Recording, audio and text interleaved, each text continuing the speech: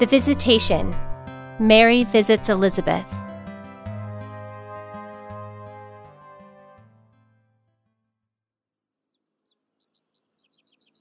In those days, Mary got ready and hurried to a town in the hill country of Judea, where she entered Zechariah's home and greeted Elizabeth.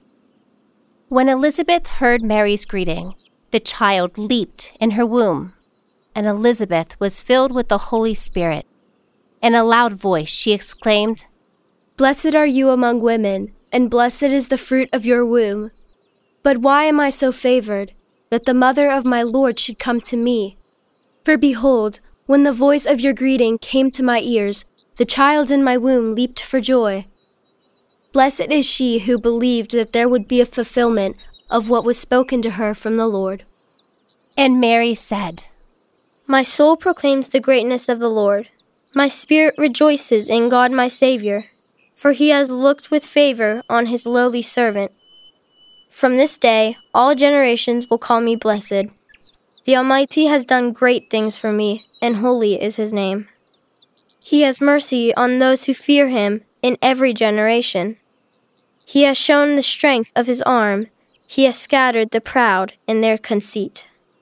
He has cast down the mighty from their thrones, and has lifted up the lowly. He has filled the hungry with good things, and the rich he has sent away empty. He has come to the help of his servant Israel, for he remembered his promise of mercy, the promise he made to our fathers, to Abraham and his children forever.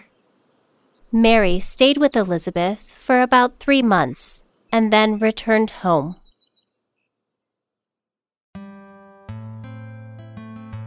That was the visitation.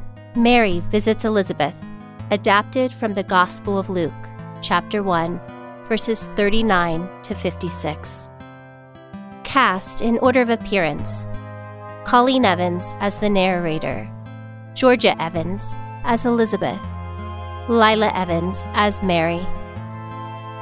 A production of We Are One Body Audio Theater.